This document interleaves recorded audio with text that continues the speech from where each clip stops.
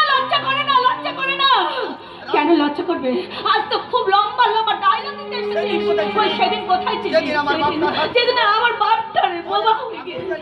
ঘরে তাকে হাত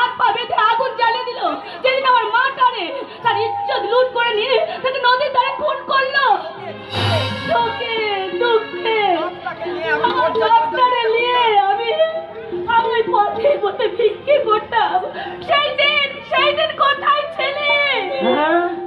দিনের বেলায় গান গেয়ে বেলায় আমি গান গেয়ে ভিক্ষে করে রোজগার করি। আর রাত্রেবেলা বাপটারে নিয়ে স্টেশনের এক কোণে আমি পড়ে থাকি। আর পনেরো বসন্তের বাতাস লেগে আমার শরীরে যৌবন এলো। ছেঁড়া পোশাকে আমি যৌবন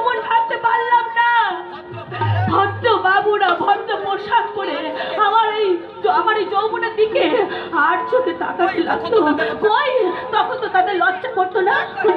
একবারও তাদেরকে মনে হতো না যে তাদের বাড়িতে আমার মতন একটা মা বোন আছে।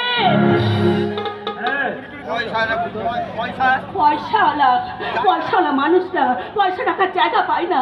তাই বাড়িতে কুকুর পুষে হাজার হাজার টাকা নষ্ট করে। তারা তো কোনোদিন আমাদের মতো স্টেশনে পড়ে থাকা মেয়েদেরকে আপ্রণ হাতে একটা পোশাক দেয় না পোশাক কিন্তু দেয় না। না। যাও না। যাও।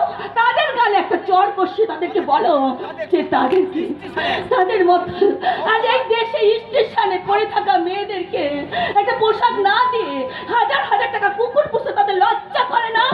লজ্জা করে না। লজ্জা করি না। এই অখণ্ড পৃথিবীতে আ- আসেই নরকে। আর সেই নরকে উড়ে বেড়াচ্ছে চিল শকুনের দল। তাদের নজর তাদের শুধু অর্থ। অর্থ আর নারী মাংসের উপর। এই দেশে এই দেশের সমস্ত মানুষের প্রতি আমার শরীরের প্রতি ভীষণ ঘেন্না করে যাচ্ছে ঘেন্না। আমারও ঘেন্না করে যায়। আমিও তোর মতো চেয়েছিলাম আমার জীবনটা